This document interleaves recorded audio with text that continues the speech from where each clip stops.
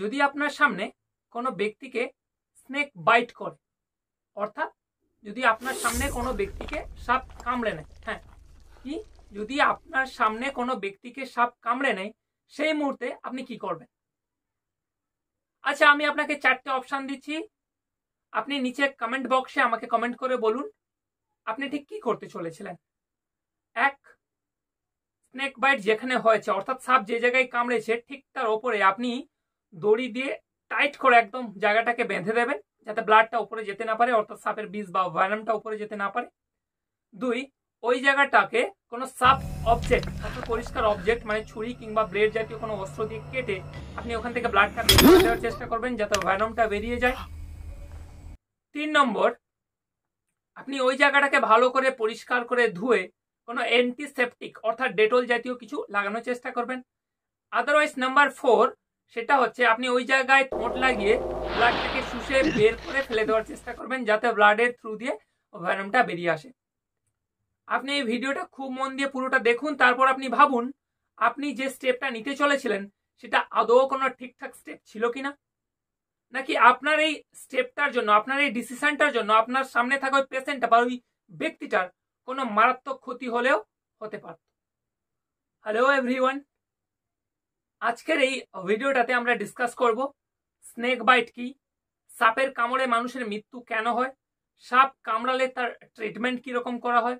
Venom অর্থাৎ সাপের যে বীজ বা পয়জন যেটা বলি, সেটা আসলে কি? অ্যান্টি ভ্যানম কি? এই ভিডিওটার মাধ্যমে আমরা সমগ্র জিনিস জানতে চলেছি। বেসিক্যালি স্নেক বাইটের প্রবাবিলিটি সেই সমস্ত জায়গায় বেশি দেখা যায়, যে জায়গায় সাপের থাকার চান্সটা বেশি। যেরকম লেবার কনস্ট্রাকশন ওয়ার্কার ফার্মার এই সমস্ত জায়গায় স্নেক বাইটের প্রবাবিলিটি সবচাইতে বেশি হয়ে থাকে। আমাদের ভারতবর্ষে তো টোটাল চারশো প্রজাতি রকমের সাপ আছে। তার মধ্যে আমি আপনাকে বলে দিই টোটাল চার প্রজাতির সাপ আছে, যাদের মধ্যে মূলত বিষ আছে। এক কোবরা দুই রেসল ভাইপার্স তিন সফট স্কিল ভাইপার্স আর চার নম্বর হচ্ছে ক্রেত স্নেক বাইটের ফলে আমরা দু রকমের সিমটম দেখতে পাই। এক লোকাল সিমটম অর্থাৎ সাপ যে জায়গাটায় কামড়েছে, যে জায়গাটা স্নেক বাইট হয়েছে, সেই জায়গায় কিছু সিমটম দেখা যাবে।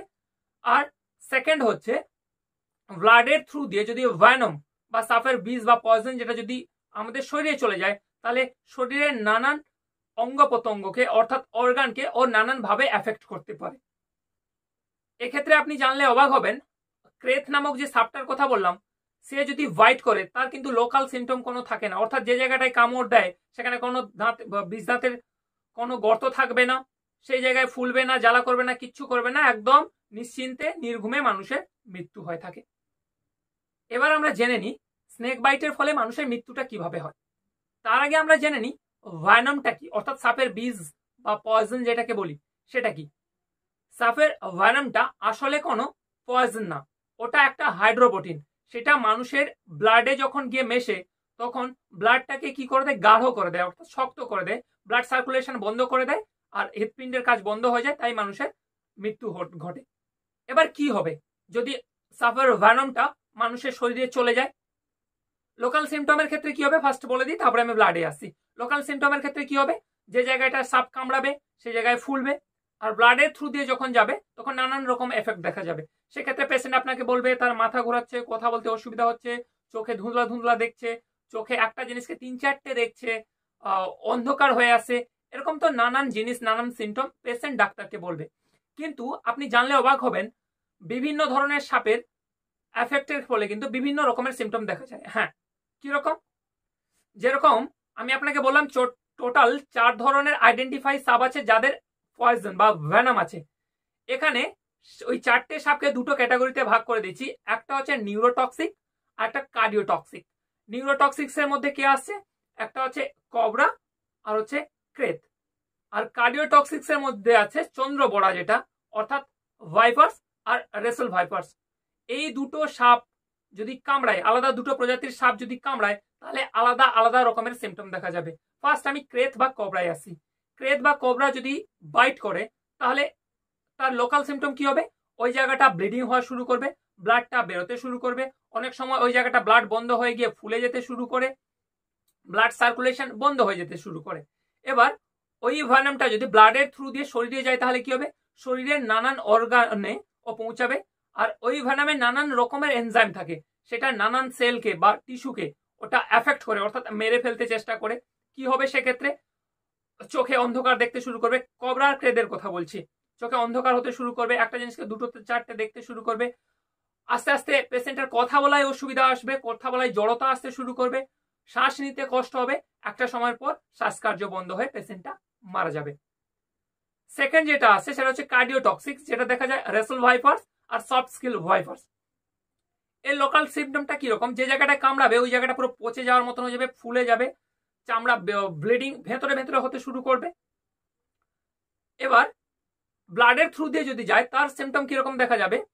এ সবার ফার্স্ট অ্যাটাক করবে কাকে? আমাদের হৃৎপিণ্ডকে। তাই একে বলা হচ্ছে কার্ডিওটক্সিক হৃৎপিণ্ডর কাজ আস্তে আস্তে বন্ধ করতে শুরু করবে কিডনিকে অ্যাটাক করবে কিডনির কাজ আস্তে আস্তে ফেল করাতে শুরু করবে।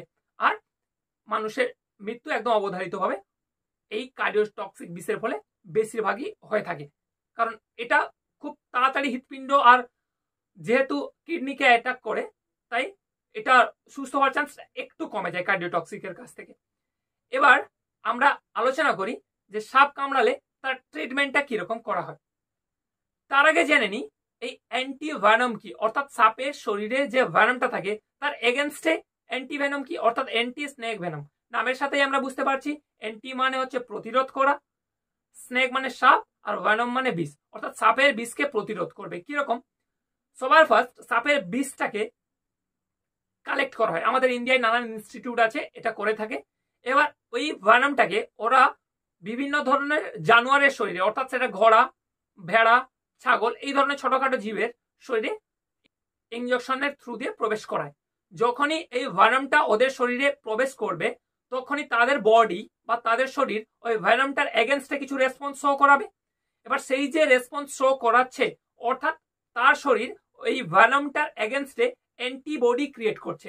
এবার ডাক্তার কি করে ব্লাড বা সিরামের থ্রু দিয়ে ওই অ্যান্টিবডিটাকে কালেক্ট করে রেখে দেয়? এটাকেই বলা হচ্ছে অ্যান্টি ভ্যানম এবার যখনই স্নেকটা বাইট করে কোনো ব্যক্তিকে, ওই অ্যান্টি ভ্যানমটাকে কি করে ডাক্তার? ওই স্নেক বাইট যাকে হয়েছে, যে ব্যক্তিটা বা পেশেন্টটার শরীরে প্রবেশ করিয়ে দেয়, এবার আস্তে আস্তে তার শরীরে সেই ভ্যানমের এগেনস্টে অ্যান্টিবডিটাকে দ্রুত কাজ করে ভ্যানমটাকে নিউট্রালাইজ করার চেষ্টা করে। এবার এটা তো হলো স্নেক বাইট করেছে। এবার এমনটা যদি হয় স্নেক বাইট করেছে আর তার সিমটম দেখতে শুরু হয়ে গেছে। অর্থাৎ চোখ অন্ধকার হয়ে আসছে, খুব তাড়াতাড়ি হসপিটালে নিয়ে যেতে পারোনি। দেরি হয়ে গেছে অনেকটা। সিমটম অলরেডি দেখাতে শুরু করেছে কিডনি ফেল হতে শুরু করেছে, হৃৎপিণ্ড বন্ধ হতে শুরু করেছে, তখন কি করব? তখন ডাক্তার যেটা করেন ফার্স্ট হৃৎপিণ্ড যদি বন্ধ হয়ে আসে, তার, সেটাকে সচল রাখার জন্য তার ট্রিটমেন্ট করেন।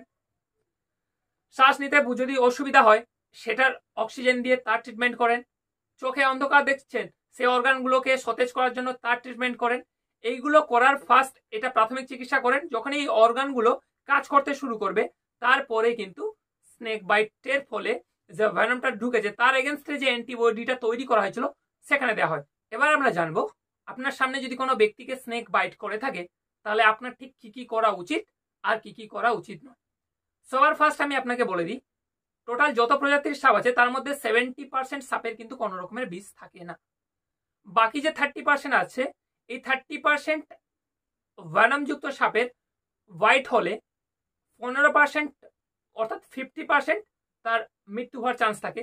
তো ওভারঅল টোটাল যদি দেখা যায় টোটাল স্নেক বাইটে মৃত্যুর চান্স কত? মাত্র ফিফটিন পার্সেন্ট ক্লিয়ার এবার আপনার সামনে কোনো ব্যক্তিকে সাপে যদি কামড়ায়, আপনি যেটা যেটা করবেন ফার্স্ট নম্বর এক, ওই ব্যক্তিটাকে একদম মোবাইল করে দেবেন, অর্থাৎ সুন্দরভাবে শুইয়ে দেবেন। যে জায়গায় স্নেকটা বাইট করেছে, অর্থাৎ ওই অর্গানটাকে কোনোভাবে মুভ করতে দেবেন না।